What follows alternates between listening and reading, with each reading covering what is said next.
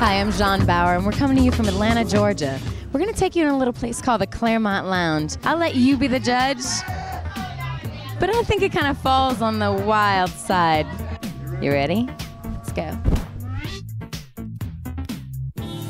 I hear you're a legend in this city. That's what they say. That is what they say. And I'm interviewing the Queen Bee. This is Blondie. She's been here forever. But we've had people like Trent Reznor, um, Marilyn Manson, Kid Rock, Michael Stipe. It still is a strip bar. Everybody has to remember that. Like tonight is disco and funk night. And they have to remember that there's still dancer girls here to make money. It's very popular now. It's very successful. Well, it should be. I made it that way. I want to thank you very much for meeting with us tonight. Thank you very much.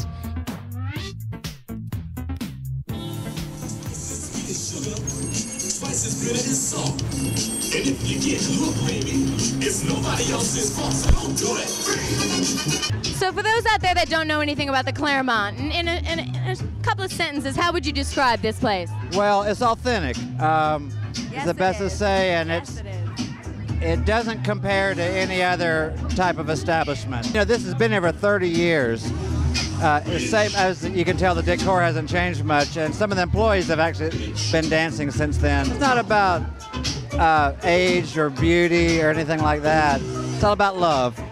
Clermont is your it's the ground zero for your love revolution. Hey, that's all for tonight. So, the Clermont Lounge is signing off. Good night, everyone. Go to eonline.com or America Online keyword E exclamation point.